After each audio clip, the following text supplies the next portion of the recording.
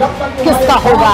राज कौन करेगा घात? कौन भीतर घात? जनता का क्या होगा फैसला? देखिए मध्य प्रदेश की सत्ता का संघर्ष। महा उपचुनाव आशुतोष के साथ। स्वदेश न्यूज़ पर दिन भर। न डरेंगे, न झुकेंगे। सत्य के लिए कुछ भी करेंगे। यहाँ खबर सिर्फ़ खबर नहीं। खबर एक मिशन है। जब बात हो देश की तो समझौता कैसे? स्वदेश न्यूज़, सबसे पहले देश। न डरेंगे, न झुकेंगे। सत्य के लिए कुछ भी करेंगे। यहाँ खबर सिर्फ़ खबर नहीं, खबर एक मिशन है। जब बात हो देश की तो समझौता कैसे? स्वदेश न्यूज़, सबसे पहले देश।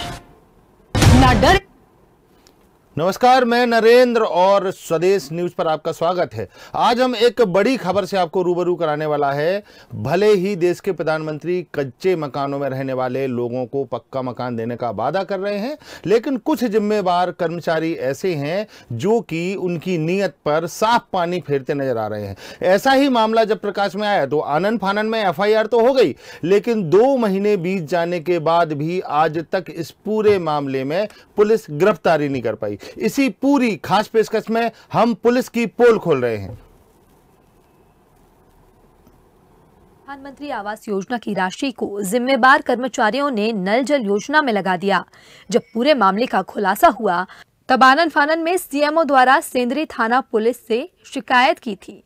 तो सेंद्री थाना पुलिस ने तीन आरोपियों पर 420 धोखाधड़ी की धाराओं में मामला पंजीकृत कर लिया था। लेकिन सवाल यही खड़ा होता है कि संगीन धाराओं में मामला पंजीकृत होने के बाद भी करीब दो माह बीत जाने के बाद आज तक गिरफ्तारी क्यों नहीं की गई? अब हम आपको सुनाते हैं थाना प्रभारी का वह बचकाना बयान, जिससे सिद्ध होता है कि दरोगा जी को कानून का ज्ञान ही नहीं है। जैसा कि सीएमओ की तरफ़ से एक आवेदन आया था, जिसमें उन्होंने बताया था कि पूर्व सीएमओ द्वारा प्रधानमंत्री आवास योजना का पैसा अन्य खातों में अन्य मदों में खर्च कर दिया गया है बिना अनुमति के। तो उस पर संज्ञान लेते हुए चार सौ बीस जो है उसका पंजीबद्ध किया गया अपराध पंजीबद्ध किया गया है और उसमें विवेचना जारी है। इसके साथ साथ उनकी एक विभागीय नगर पालिका अधिकारियों के द्वारा उसमें जाँच की जा रही है और जो जाँच समिति के द्वारा रिपोर्ट आएगी वैसी वैधानिक कार्रवाई की जाएगी। उसका अ, कोई ऐसा रीजन नहीं है सिर्फ़ जो जाँच समिति बैठी हुई है तो जाँच समिति समिति जब रिपोर्ट देगी तो उस रिपोर्ट के आधार पर कार्रवाई की जाएगी। यही नहीं, यहाँ पर एक से एक धुरंधर भरे पड़े हैं। अब हम आपको सुनवाते हैं एफआईआर करवाने वाले सीएमओ साहब की आवाज़, जिसमें वो साफ़ कहते नज़र आ रहे हैं कि सेंद्री में आरोपियों द्वारा ज़्यादा पैसा दिया गया, जिसके कारण कार्रवाई नहीं हो रही है, जबकि मामला कांच की तरह साफ़ है। इस पर हमारी पूरी पड़ताल। नगर पंचायत तरीचर और एक सबसे बड़ी बात यहाँ पर है कि कानून के रक्षक, कानून के रक्षक ये कह रहे हैं कि विभागीय जाँच चल रही है। डिपार्टमेंटल इंक्वायरी चल रही है और जब ये डिपार्टमेंटल इंक्वायरी पूरी हो जाएगी, तब वो इस पर कार्रवाई करेंगे। लेकिन सबसे बड़ी बात देखने वाली यह है कि डिपार्टमेंटल इंक्वायरी या फिर एफआईआर जो होती है, क्या इनको पता नहीं है कि दोनों अलग अलग होती हैं? डिपार्टमेंटल इंक्वायरी एक अलग पार्ट होता है और जो कानून का पार्ट होता है वो अलग होता है। एफआईआर दर्ज होने के बाद में भी इन लोगों की गिरफ्तारी नहीं हो पाई। इन लोगों को ना तो सस्पेंड किया गया। ये तीनों आरोपी जिन पर एफआईआर दर्ज हुई है, वो आज भी घूम रहे हैं, खुलेआम घूम रहे हैं। लेकिन पुलिस है कि डिपार्टमेंटल इंक्वायरी का इंतज़ार कर रही है। डिपार्टमेंटल इंक्वायरी होने के बाद पुलिस दावा कर रही है कि वो इस केस में आगे की पड़ताल करेगी। कितना बचकाना बयान है। अब अभी हम इस पूरे मामले पर प्रकाश डालने के लिए हमारे साथ जुड़े हुए देवेश गुप्ता, नेवाड़ी संवाददाता। देवेश, क्या था ये पूरा मामला और किस तरीके से ये पुलिस का बचकाना बयान आया है पूरे मामले में? देवेश। सर, आपको बता दें कि कुछ दिन पूर्व तरीचा कला नगर पंचायत में प्रधानमंत्री आवास योजना में भ्रष्टाचार हुआ था, जिसमें दो करोड़ संतानवे लाख बयासी हज़ार नौ सौ चौरानवे रूपए की राशि दूसरे मदों में खर्च कर दी गई थी, जिस पर तरीचा कला सीएमओ द्वारा एक शिकायती पत्र देकर सहनी थाना पुलिस से मामला पंजीकृत करवाया था। लेकिन कई महीनों बीत जाने के बाद भी आज भी कोई कार्रवाई अमल में नहीं लाई गई।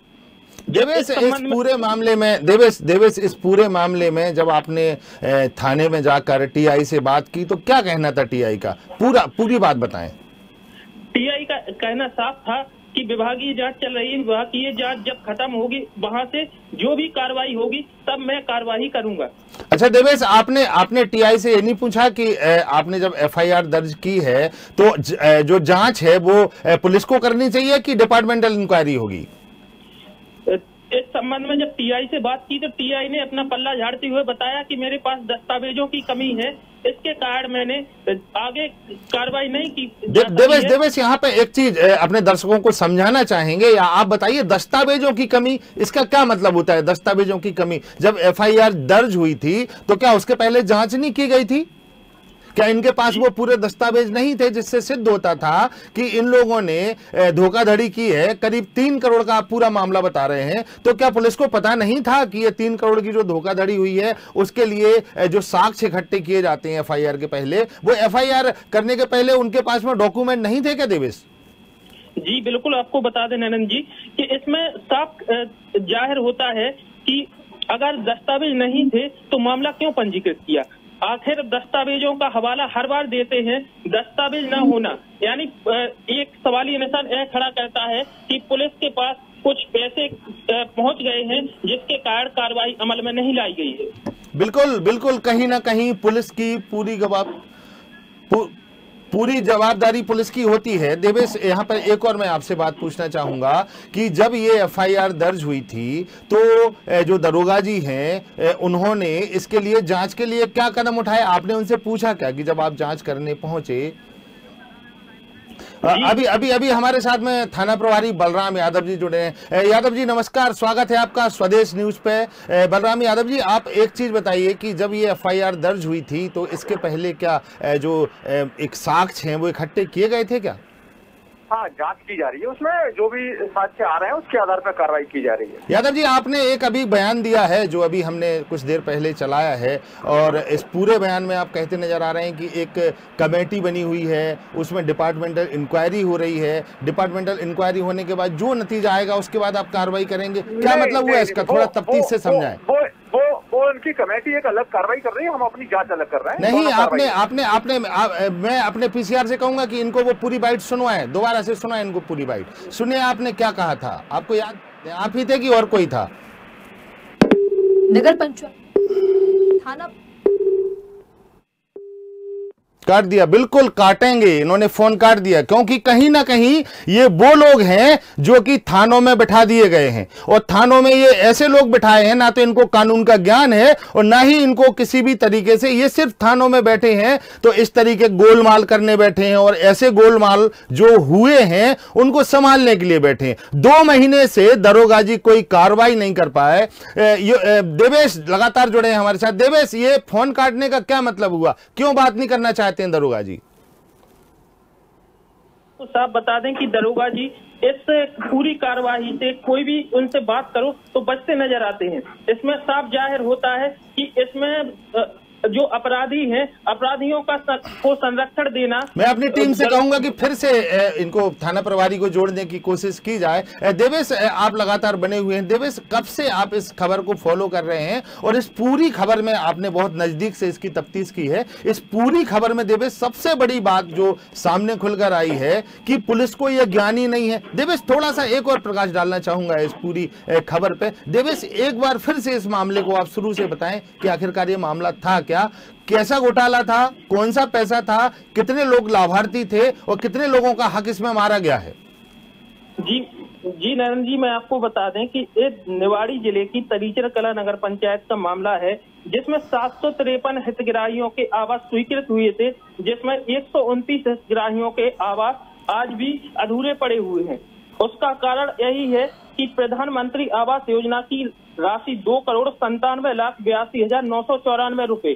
दूसरे मदों में खर्च कर दी है, जबकि इसके पहले तत्कालीन दो सीएमओ सहित एक लेखापाल पर मामला पंजीकृत करवाया था। लेकिन एक वीडियो में आप साफ़ तौर पर देख सकते हैं कि मामला पंजीकृत होने के बाद भी अपराधी किस तरीके से नगर पालिका में आता है और वहाँ दस्तावेजों की मांग करता है। देवेश देवेश एक मैं रोकना चाहूँगा। आपने कहा तीन लोगों पर एफआईआर हुई थी। और करीब तीन करोड़ का ये घोटाला था। 175 करीब जो ऐसे लोग थे जिनको आवास मिलना था। और स्वाभाविक है, मनसा अच्छी है सरकार की। सरकार चाहती है कि उन गरीबों को जो कच्चे मकान में रहते हैं, पक्के आवास की सुविधा मिले। और वो लोग आज भी अपने मकान का सपना लेकर जी रहे हैं, क्योंकि ये भ्रष्ट अधिकारी ऐसे हैं। ये भ्रष्ट अधिकारी वो अधिकारी हैं जो शासन प्रशासन की योजनाओं को पलीता लगाते हैं। और अपने देश के लिए ये वो दीमक हैं जो कि गरीब का निवाला खाते हैं। देवेश यहाँ पे एक बात पूछना चाहूँगा मैं आपसे कि जब ये एफआईआर हुई थी तो इस एफआईआर होने के बाद ये जो पूरा आ, मामला प्रकाश में आया तो कितना समय इसको एफआईआर होने के बाद हो गया है और पुलिस की कार्रवाई क्या हुई है थोड़ा सा जान जी अभी जब इस संबंध में पुलिस से कोई भी बात की जाए कार्रवाई के मामले में तो पुलिस देवेश देवेश देवेश अभी मैं बताना चाहूँगा दर्शकों को कि अभी हमने निवाड़ी एसपी बाहनी सिंह से बात करनी चाहिए। उन्होंने साफ़ मना कर दिया है उन्होंने साफ़ कह दिया है कि मैं इस किसी भी ए, इस मामले में किसी भी तरीके की बाइट नहीं देंगे वो कुछ नहीं बोलेंगे इसके मामले में। तो साफ़ इस पूरे मामले पर मैं फिर से कहना चाहूँगा कि एसपी को आखिर मीडिया के सामने बयान देने में क्या डर है? एसपी क्यों बात नहीं करना चाहती हैं? क्यों थानेदार ने ये पूरा फ़ोन काट दिया है? ये थाना प्रभारी को ये पता नहीं है कि कानून का ज्ञान नहीं है। 400 बीसी का मुकदमा दर्ज करने के बाद में वो व्यक्ति खुले घूम रहे हैं, उनको सस्पेंड नहीं किया गया है। उसके बाद वो लगातार उस नगर पंचायत के चारों ओर वहीं के दो व्यक्ति वहीं के रहने वाले हैं। एक व्यक्ति ट्रांसफ़र होकर रीवा में पदस्थ थे तो क्या इन लोगों को गिरफ्तारी नहीं बनती थी? क्या इन लोगों को सस्पेंड नहीं किया जाना था? अगर इन पर एफआईआर दर्ज हुई थी, ये तमाम वो सवाल हैं। ये तमाम वो सवाल हैं जो स्वदेश न्यूज़ पूछ रहा है उन जिम्मेवार अधिकारियों से। कैसे बच सकते हैं आप हमसे बिना बात, हमसे बात करने से? आप क्यों बात नहीं करेंगे हमसे? आप हमारी बात सुनेंगे। आप जनता के नुमाइंदे हैं। जनता का पैसा इन लोगों ने खाया है। जनता के साथ इन्होंने धोखाधड़ी की है और आप हमसे बात नहीं करेंगे। इस पूरे मामले पर देवेश हमारे साथ बने हुए हैं। देवेश इस पूरे मामले पे मैं जानकारी चाहूँगा कि एसपी साहिबा जो हैं एसपी साहिबा जो हैं वो बात क्यों नहीं करना चाह रही हैं? जी नरेंद्र जी मैं आप- बिल्कुल देवेश मैं आपको रोकना चाहूँगा। हमारे साथ है कलेक्टर निवाड़ी आशीष भार्गव साहब जुड़े हुए हैं। भार्गव साहब नमस्कार स्वागत है आपका स्वदेश न्यूज़ चैनल में। भार्गव जी, एक बात जानना चाहेंगे कि एक मामला था तरीचरकला नगर पंचायत का, जिसमें एफआईआर दर्ज हुई थी। शायद संज्ञान में होगा आपके पूरा मामला। अभी तक उन लोगों की गिरफ्तारी क्यों नहीं और एफआईआर दर्ज होने के बाद में इन लोगों को सस्पेंड क्यों नहीं किया गया?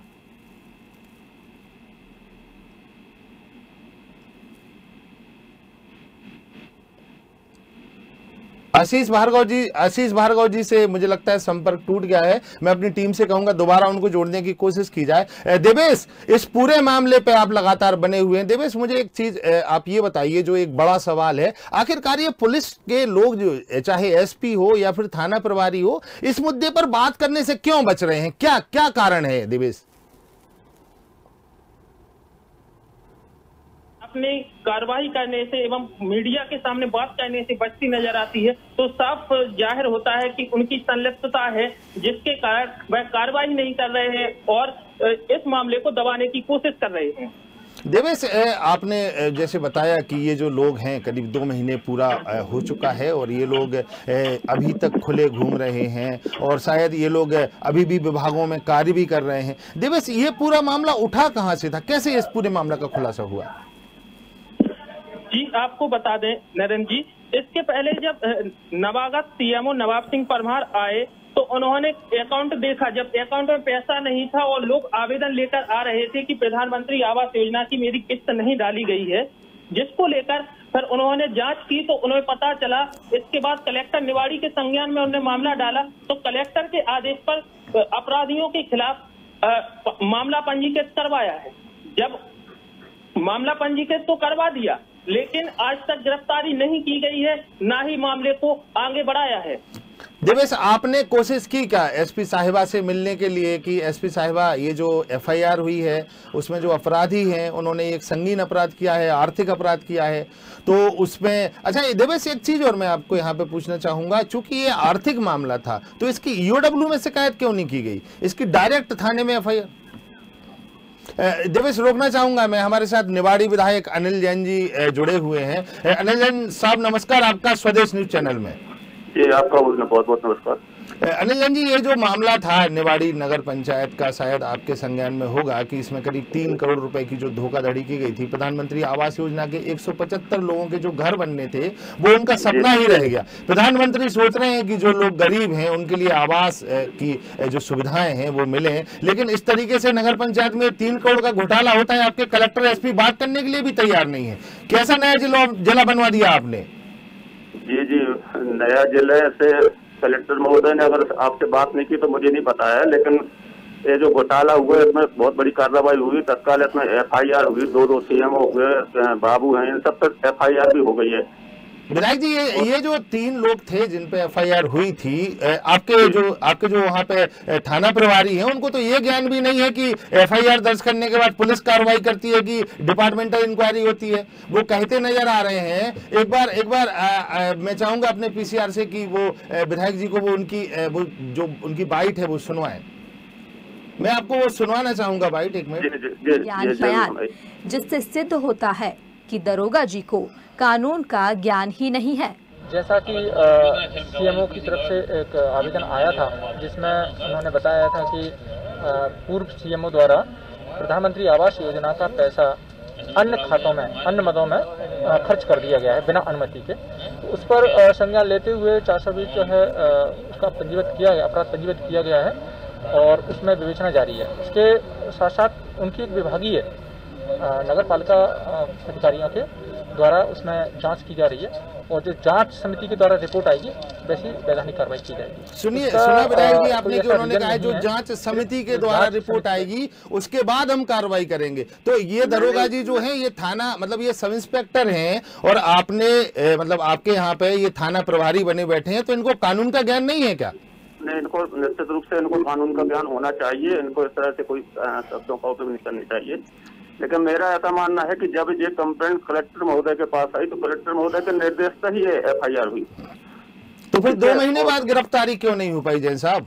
हाँ गिरफ्तारी अगर नहीं हो रही है तो ये एक चिंता का विषय है संबंध अच्छा आप भी आप भी आप भी जनप्रतिनिधि हैं आप अच्छे से जानते हैं कि जैसे किसी भी कर्मचारी पे शासकीय कर्मचारी पे अगर इस तरीके की एफआईआर दर्ज होती है और इतना बड़ा मामला है तीन करोड़ का मामला है धोखाधड़ी का मामला है चार का मामला इन पर दर्ज हुआ है तो इनको अभी तक सस्पेंड भी नहीं किया गया। ये आराम से अपनी नौकरियाँ कर रहे हैं और एक व्यक्ति तो आपकी नगर पंचायत में ही पदस्थ थे और खुलेआम, अब उनको क्या ये चोरों के हाथ में चाबी नहीं दे दी आपने? नहीं, मेरा ऐसा है कि जिन लोगों पे एफ़ आई आर हुई ये अब यहाँ परिसर में, यहाँ मतलब यहाँ अब सर्विस नहीं को कहीं और ट्रांसफ़र होकर चले गए हैंगे। और एक जो जो क्लर्क था, जिस पे एफ़ आई आर हुई, वो उसका रिटायरमेंट भी हो गया। मतलब आपको पूरी जानकारी है इस मामले की। मतलब आप हाँ, आप जैसा आप जैसा आप जैसा चलिए बहुत अच्छा लगा। आप जैसा सजग एक जो नेता है वो ज़िले में कम से कम है तो। लेकिन एक ये जो आपके जो एसपी हैं कलेक्टर हैं ये मीडिया से इतना डरते क्यों हैं? क्या इनको उनको उनको उनको बात करनी चाहिए। अगर आप लोगों के माध्यम से ही हम लोग इतनी बड़ी ज़िम्मेदारी निभा रहे हैं और इतनी बड़ी जो घटना घटी है जो अगर मीडिया साथ नहीं देती तो वो निश्चित रूप से वो कहीं विषय मेरे तो लगता है कि वो विषय उठ ही नहीं पाता। बिल्कुल, और हम आशा करेंगे अनिल जैन जी, हम आशा करेंगे कि आप इनको नसीहत दें, कि मीडिया से बात करें। और अगर मीडिया से बात करने से बचते हैं तो कहीं ना कहीं ये प्रश्न उठते हैं। जनता के दिमाग में भी उठते हैं, और हमारे दिमाग में भी उठते हैं, कि आखिरकार कहीं ना कहीं दाल में काला है, जिससे ये बात करने से बच रहे हैं। बहुत बहुत धन्यवाद अनिल जैन जी आपका।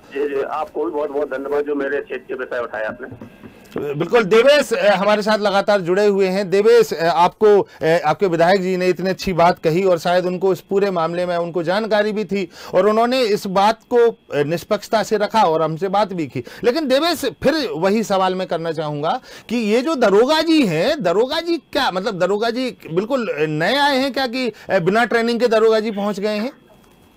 जी अ, जी नरेंद्र जी आपको बता दें कि इसके पहले दरोगा जी पहले थाने मैं अपनी टीम से कहूँगा कि दरोगा जी से कांटेक्ट करने की कोशिश तो की जाए आखिरकार दरो बिल्कुल देवेश आप आप आप जारी रखें अपनी बात। जी नरन जी आपको बता दें कि दरोगा जी पहले थाना प्रभारी हैं जो इनको थाना मिला है। इसके पहले जो टीआई के अंडर में पोस्टिंग रही है मेरा मानना है कि थाना प्रभारी का पद पहली बार ग्रहण करने के बाद दरोगा जी अपनी ज़िम्मेदारी नहीं बिल्कुल कहीं ना कहीं बिल्कुल बिल्कुल देवेश कहीं ना कहीं एसपी के चहेते हैं दरोगा जी। और एसपी साहिबा भी जिस तरीके से पूरे मामले से पल्ला झाड़ रही हैं, एसपी साहिबा भी नई नई लगती हैं। नए नए ज़िले में नए नए अधिकारी नए नए गुल खिला रहे हैं, सीधा सा सीधी सी बात है। और मैं अपनी टीम से कहूँगा कि लगातार एसपी साहिबा से भी कांटेक्ट करने की कोशिश की जाए। आखिर एसपी साहिबा ऐसी क्या मजबूरी है जो आप हमसे बात नहीं करना चाह रही हैं? आखिर एसपी साहिबा ऐसी कौन सी बात है जो आप हमसे छुपाना चाह रही हैं? एसपी साहिबा, आप हमसे बात करें या ना करें, लेकिन जनता सब समझ रही है कि नए ज़िले में नए कलेक्टर एसपी आए हैं और नए कलेक्टर एसपी क्या कर रहे हैं? आपके जनप्रतिनिधि भी हमसे जब बात कर सकते हैं, आपके विधायक, आपके मंत्री जब हमसे बात कर सकते हैं तो आप ऐसे कौन सी व्यस्तता है आपकी? बिल्कुल देवेश आप मेरे साथ बने हुए हैं। देवेश मैं आपसे फिर एक चीज़ जानना चाहूँगा कि देवेश, ये जो पूरा मामला था, इसमें जो तीन लोग आरोपी बनाए गए थे, देवेश, वो कहाँ पदस्थ हैं अभी? कहाँ हैं वो लोग? जी, नरन जी, आपको बता दें कि जो तीन लोग पर कार्रवाई हुई थी, जिसमें एक व्यक्ति जो लेखापाल थे, वो रिटायरमेंट हो चुके हैं। अन्य दो लोगों का कोई जानकारी नहीं है किस नगर पंचायत में सीएमओ के पद पर पदस्थ हैं। बिल्कुल साफ़ ज़ाहिर होता है कि सीएमओ के पद पर ही पदस्थ हैं। हालाँकि उनको ना तो पद से हटाया गया हम है। अपनी टीम से एक एक मिनट देवेश रोकना चाहेंगे? दरोगा जी दरोगा जी से जरा कांटेक्ट करने की कोशिश की जाए। एसपी कलेक्टर तो फ़ोन नहीं उठा रहे हैं। हालाँकि जो विधायक हैं अनिल जैन उन्होंने साफ़ कहा है कि वो ताकीद करेंगे उनको कि भाई मीडिया से बात करने में परेशानी क्या है? समस्या क्या है आपको मीडिया से बात करने में? मीडिया से बात करने के बाद अगर इतना बड़ा खुलासा कलेक्टर ने किया है, कलेक्टर के आदेश पे एफआईआर हुई है तो अब कलेक्टर को तकलीफ़ क्या है हमसे बात करने के लिए?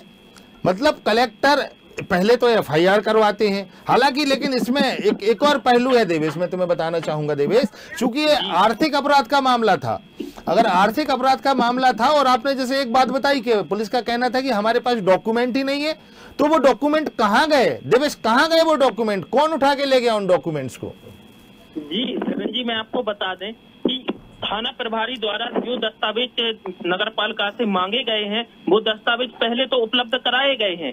इसके बाद जब उनकी विभागीय जाँच बैठी तो विभागीय टीम सागर दस्तावेज़ ले गई है। कहाँ से लेके गई? देवेश देवेश ये ये- बात ये बहुत इंपॉर्टेंट बात है। दस्तावेज़ पहले इनको उपलब्ध कराए गए फिर सागर से जो इनकी डिपार्टमेंट इंक्वायरी करने वाली टीम आई तो वो क्या थाने से दस्तावेज़ लेके गई है? नहीं जी नरेंद्र जी आपको बता दें केवल नगर पंचायत से दस्तावेज़ लेकर गई है ना कि थाने से दस्तावेज़ तो क्या जब ये जब ये जाँच चल रही थी तो क्या थाने में दस्तावेज़ नहीं थे? क्या उन दस्तावेजों की जब्ती बना के थाने में लेके नहीं जाया गया था क्या उनको? जी नरेंद्र जी जिस जिस दस्तावेज़ की ज़रूरत पड़ी है और थाना प्रभारी द्वारा जो दस्तावेज़ नगर पंचायत सीएमओ से मांगे गए हैं उन्होंने दस्तावेज़ उपलब्ध कराए हैं। फिर फिर ये कैसे कह सकते हैं थाना प्रभारी के हमारे पास दस्तावेज़ ही नहीं है? जी अब सवाल यही खड़ा होता है कि दस्तावेज़ जो भी चाहिए थे वो एक बार में भी तो लाए मांगे जा हाँ, सकते थे और ले जाए जा सकते थे। लेकिन दस्तावेज़ बार बार मांगना, एक एक दस्तावेज़ का मांगना इस सवाल ये निशान खड़ा करता है। बिल्कुल देवेश, पूरे मामले पर आपकी नज़र है जो बनाए रखिए। क्या है ये मामला? किस तरीके से ये लोग आते हैं? ये थानेदार इनको बना दिया गया, इनको ये भी पता नहीं है कि डिपार्टमेंटल इंक्वायरी अलग होती है और थाने की इंक्वायरी अलग होती है। लेकिन सबसे बड़ी बात ये है कि पुलिस यहाँ पर फंस गई है, क्योंकि पुलिस को पता है कि उसने कर क्या लिया है। सबसे बड़ी बात एफआईआर तो दर्ज कर ली है इन्होंने। एफआईआर दर्ज करने के बाद में इन्हें इसका भी ज्ञान नहीं है कि डिपार्टमेंट डिपार्टमेंटल इंक्वायरी होगी, उसकी जाँच आएगी, उसके बाद दरोगा जी पूरी जाँच करेंगे। तो निश्चित ही कहीं ना कहीं पुलिस की मामला, पूरे पूरा मामले में पुलिस की संलिप्तता, पुलिस की संदिग्धता नज़र आ रही है। और एक और बात यहाँ पर देखने वाली है कि डॉक्यूमेंट्स नहीं है हमारे पास। जब डिपार्टमेंटल इंक्वायरी होगी, उसके बाद हम इस पे संज्ञान लेंगे पूरे मामले पे। एसपी बात करने को तैयार नहीं है कलेक्टर बात करने को तैयार नहीं है, दरोगा बात करने को तैयार नहीं है। जब हमने उनसे पूछा कि आपने ऐसा क्यों कहा तो फ़ोन काट दिया जाता है। निश्चित ही नया जिला बना है, नई टीम है और नए तरीके से लूट है। पूरे विभागों में है, चाहे वो नगर पालिका हो। नगर पालिका में तीन करोड़ का घोटाला होता है। लेकिन नगर पालिका में तीन करोड़ का घोटाला होने के बाद में भी एफआईआर तो कर ली जाती है, लेकिन वो तीनों खुले घूम रहे हैं। मतलब सीधा सा है कि ये कार्रवाई करने से बच रहे हैं।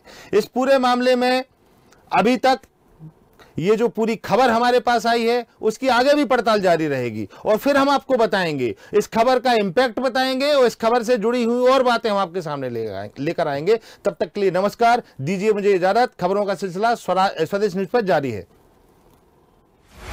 अब की बार किसकी सरकार? किसका होगा राज कौन करेगा घात कौन भीतर घात जनता का क्या होगा फैसला? देखिए मध्य प्रदेश की सत्ता का संघर्ष। महा उपचुनाव आशुतोष के साथ। स्वदेश न्यूज़ पर दिन भर। न डरेंगे, न झुकेंगे। सत्य के लिए कुछ भी करेंगे। यह खबर सिर्फ़ खबर नहीं, खबर एक मिशन है। जब बात हो देश की तो समझौता कैसे? स्वदेश न्यूज़